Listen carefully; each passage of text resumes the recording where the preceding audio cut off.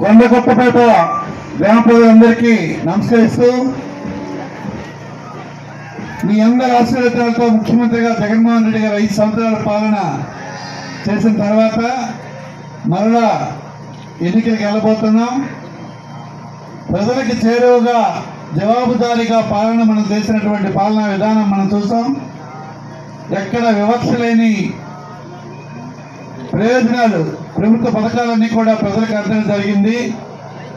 నేరుగా ప్రభుత్వ ముఖ్యమంత్రి ద్వారా అకౌంట్లో వేసినటువంటి డబ్బులు ప్రజలకు అందిన రెండు లక్షల డెబ్బై వేల కోట్ల రూపాయలు నేరుగా ప్రజలకు అందినటువంటి డబ్బులు ఈ రాష్ట్రంలో.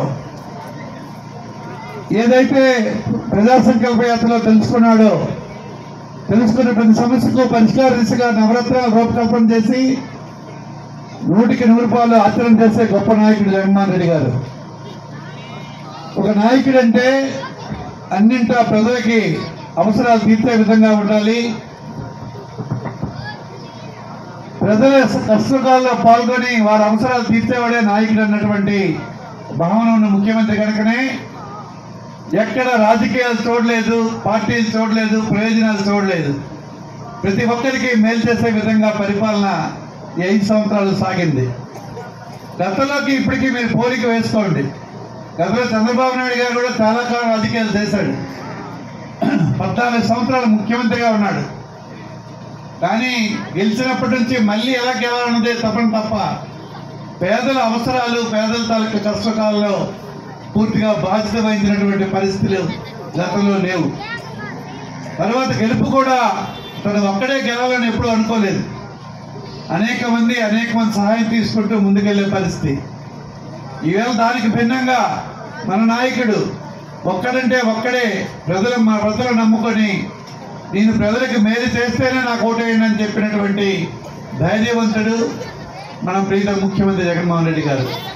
అలాగనే ఈవేళ ఏ సర్వే తీసుకున్నా మన ముఖ్యమంత్రికి అనుకూలంగా రేపు ఎన్నికలు ఎప్పుడు జరిగినా ఈ రాష్ట్రంలో ఏర్పడేది వైఎస్ఆర్ ప్రభుత్వమే. ఈ రాష్ట్రానికి ముఖ్యమంత్రి జగన్మోహన్ రెడ్డి గారే అని.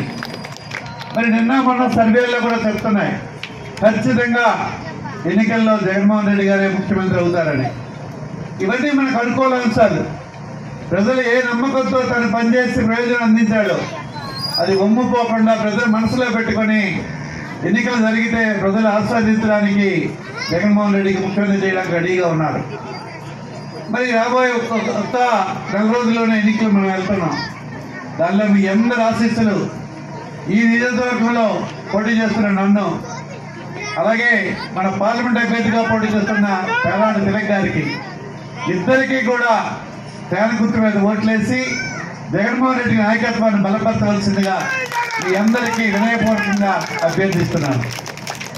ఇక్కడ ఉన్నటువంటి అవసరాలు ఒకటి ఒకటి ప్రజలకు చేసాం ఇంకా ఏవైతే ప్రధానమైన సమస్యలు ఉన్నాయో అవి కూడా రాబోయే ఐదు సంవత్సరాల్లో ఒకటి ఒకటి చేస్తామని మీకు తెలియజేసుకుంటూ మీ అందరూ మీ అందరూ కూడా మరి జగన్ గారికి అండగా ఉండండి. ఒక మంచి నాయకుడు రాజకీయాలకు వచ్చినప్పుడు వారికి అండగా ఉండి మీ ఆశీస్సులు అందించి అతను కొనసాగే సాగే విధంగా మీరు అండగా ఉంటేనే అతను మరింత ఉత్సాహంగా మరిన్ని ప్రయోజనాలు చేసేదానికి ప్రయత్నం చేస్తాడు. మీకు అనేక కార్యక్రమాలు మీ గ్రామంతో మీ పంచాయతీలకి మీ గ్రామాలకి చేయడం జరిగింది. ఇంకా ఏవైనా మీ ప్రధాన అవసరాలు ఉంటే అవి కూడా చేస్తామని తెలియజేసుకుంటూ ఈవేళ మీ అందరూ అఖండమైన స్వాగతం.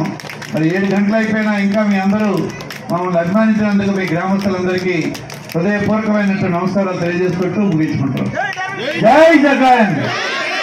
జహార్ వైఎస్ఆర్. ఈరోజు ఎన్నికల ప్రధాన నిమిత్తం మన యాత్ర ప్రసాద్ గ్రామం రావడం జరిగింది. మీ అందరి ఆశీర్వాదాలతో ప్రభుత్వం ఏర్పడిన తర్వాత ప్రీతం ముఖ్యమంత్రి గారి పాలన ఐదు సంవత్సరాలు మనందరం చూసాం.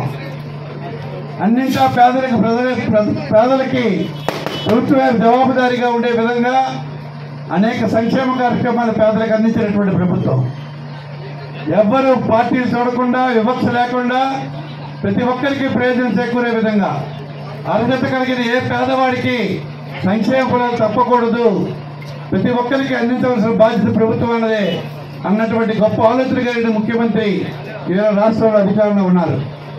అటువంటి ముఖ్యమంత్రి కాపాడుకోవాల్సిన అంతా ధర్మం మరి ఇంటి పథకాలు పొందిన తర్వాత మనిషి అన్ని మనిషి అనేవాడి కృతజ్ఞత ఉంటుంది. ప్రయోజనం పొందాలి మేలు పొందాలి. తద్వారా ఏ ప్రభుత్వం అయితే మనకి సహాయం చేసిందో ఆ ప్రభుత్వానికి ఓటేసి మరి వారికి ఆశీర్వదించాల్సిన అవసరం కూడా ఉంది. మన ప్రభుత్వం మన పార్టీ మన నాయకుడి తల గుర్తయితే ఫ్యాన్. మరి ఆ ఫ్యాన్ తరఫునే మేము తిలక్గా పార్లమెంట్ సభ్యుడిగా తిలక్ గారు అలాగే అసెంబ్లీ సభ్య అభ్యర్థిగా ఎమ్మెల్యేగా నేను పోటీ చేస్తున్నాం. ఇద్దరికి కూడా మీ ఆశీర్వచనాలు ఇచ్చి ముఖ్యమంత్రి గారి నాయకత్వాన్ని బలపరచవలసిందిగా గ్రామస్తులు యావన్ మందికి హృదయపూర్వకంగా నమస్కరిస్తూ కోరుకుంటున్నాను. జై జగన్! సమస్య లేని ఇల్లు ఉండదు పరిష్కారం లేని సమస్య ఉండదు. బంధాలు గొప్పవి బాధలు చిన్నవి. మీ సమస్యని మేము పరిష్కరిస్తాం. రండి మాట్లాడుకుందాం.